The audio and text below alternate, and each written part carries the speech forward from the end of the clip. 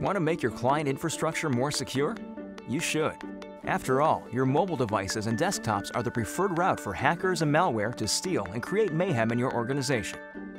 Two important studies, one by Dell and the New York Times and another by IDG Research, reveal that IT leaders attribute higher security risks to legacy hardware running outdated operating systems. It's like driving in the rain on bald tires. Sooner or later, an accident awaits. There's no halfway solution to this problem.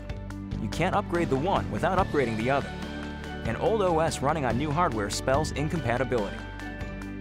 Old hardware running a new OS spells IT complexity and cost.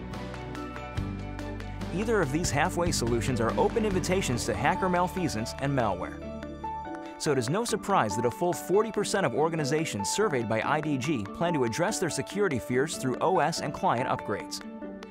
Systems using Windows 8.1 Pro are six times less likely to be impacted by malware than earlier versions of Windows.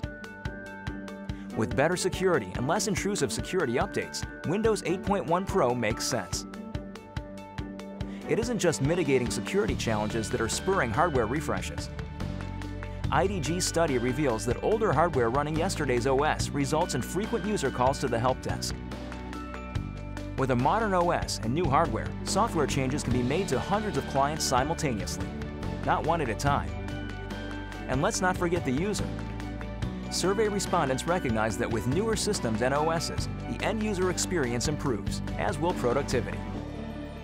So what are you waiting for? Out with the old and in with the new.